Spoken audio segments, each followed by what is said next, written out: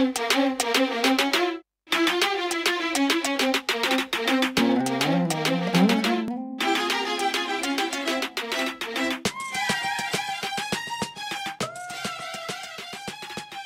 I'm saying it right. Indian mulligatawny soup. And I can't wait to make it. It's for my husband. We've decided to eat healthier for uh, 2021. I'm gonna try to make it as healthy as possible. Um, we're gonna need some chicken broth. That's gonna be, I know it's not vegetable broth, but little by little, slowly but surely, we will um, transform into just using vegetarian products. Here we have some lentils, some red lentils. And it the recipe calls for tomatoes, but I didn't have fresh tomatoes, so I have this thick and mild salsa, which has chili peppers and onions and cilantro, which are all ingredients that I'm gonna need for my mulligatawny soup. I hope I'm saying it right. You need some coconut milk, unsweetened, um, probably two thirds of the can, um, some cardamom um, spice, um, some thyme, some fresh ground black pepper, turmeric, bay leaves, cinnamon. Actually, I don't have any cinnamon in the cabinet, so I'm using a little bit of pumpkin spice but I'll just use a little bit of it. It has um, almost all the same ingredients. Um, some curry powder, a little uh, smoked paprika, and some ginger. I really like using this ginger because it comes in like these little frozen packets and you can actually, um, each one is a half a teaspoon. So it calls for um, no, each one is a teaspoon, so it calls for two teaspoons, but I love ginger, so I'm gonna put three teaspoons in. And of course, you need a little salt. So here we have, let's see. Um, we have some onions and carrots, um, chopped up finely, some apples and onions, some olive oil, some cilantro, and I'm gonna show you how to cut that cilantro. And just diced up some sweet potatoes and some zucchini and some garlic and that's exciting right? It's going to be a really healthy healthy um, soup for valentine's day exciting don't forget to use these gloves so you don't cut off a finger while you're chopping all those vegetables like i almost do every single time like Thanks to my future daughter in law, she bought me these gloves and I will never cut my fingers again. When you're cutting your apple, you want to cut them like this size and just core it.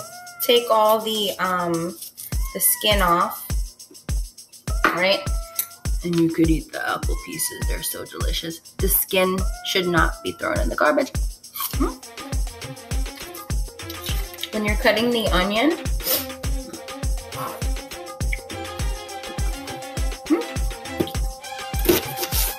And hmm. cut this way. And then you can just cut it in little dices. Like that. You can save some of it. Some of it can be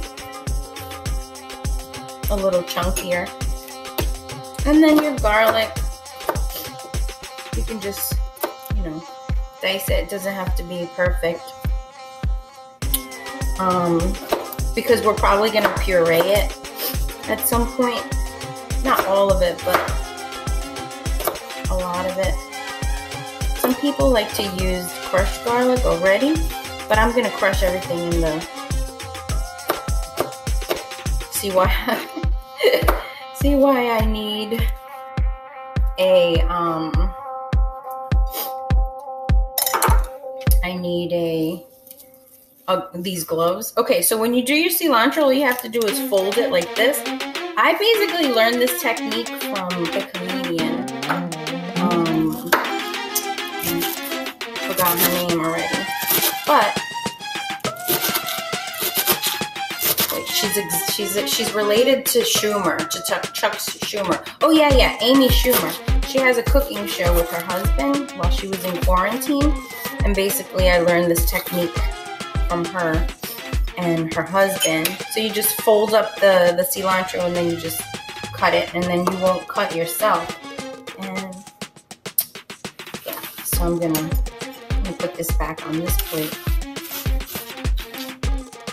All right. And then I'm just gonna dice the apples. Kind of small, not too big.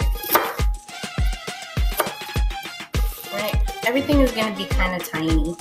And remember, don't throw away the seed, the, the skin. You wanna put a half a teaspoon of all these little dry ingredients. Oh, wow. The aroma from this cardamom is really, really strong. These spices are so delicious. I'm so excited about using using them. Let's see if I can point the camera into the Instapot so you can see how delicious all those vegetables just cooking together with the sweet potatoes and the zucchini. Mmm, guys, I'm a chef. I didn't even know it. Anyway, after you saute the onions and the vegetables in some olive oil, you can take a little bit out and put it inside the blender uh, to make the texture, the creamy part of the soup. Mm. The chicken broth and the vegetables that you sauteed into the blender, it's going to get really creamy gonna look like that. Mmm. And then you just add it back into your back into your mm. Oh my gosh. You can taste the garlic and the ginger. Everything tastes so good together. This fragrant mulligatawny soup is spiced with curry and made from creamy red lentils, carrots, apples, and coconut milk. Um, Make a double batch and freeze the rest for leftovers. This soup is packed with a lot of love and hardly any fat at all. So enjoy. Happy Valentine's Day. A light, delicious Indian mulligatawny soup with the one